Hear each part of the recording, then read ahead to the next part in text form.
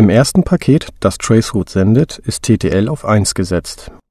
Der erste Router setzt TTL auf 0, dabei erzeugt er eine ICMP Time Exceeded Nachricht, trägt seine IP-Adresse als Absender ein und sendet die ICMP-Nachricht an den Absender zurück. Damit kennt der Absender die IP-Adresse des ersten Routers.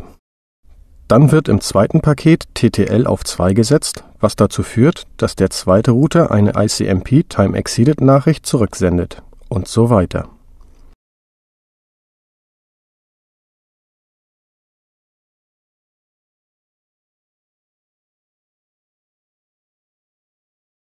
Dieser Prozess wird so lange wiederholt, bis der Empfänger erreicht wird.